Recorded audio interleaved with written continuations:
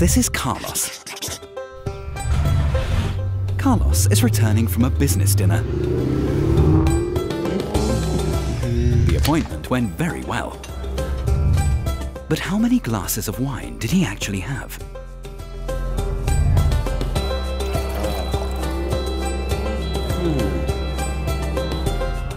And how much alcohol is now in his blood?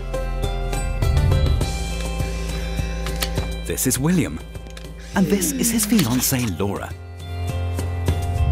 William and Laura are just returning from a visit to the in-laws. They had a great day with Laura's family. William and his new father-in-law really hit it off. But how much alcohol is actually in a vodka like that?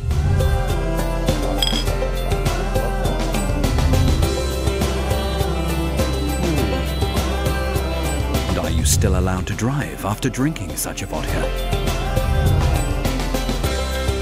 This is David.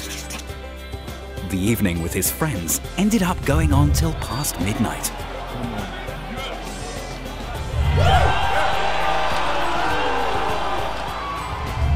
And tomorrow, yet another appointment. 160 miles on the freeway. How long does it take for alcohol to leave the body?